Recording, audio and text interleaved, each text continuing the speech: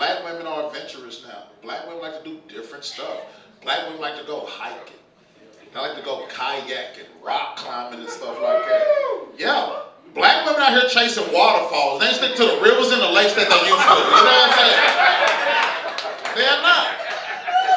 They are not, man. I took this one black girl on a brunch date, and I'm like, baby, order whatever you want to. She's like, Brad, I know what I want. I want the steak and eggs. I want my steak bloody. I want my eggs running, and I want mimosa. I go, you want your steak bloody and your eggs running?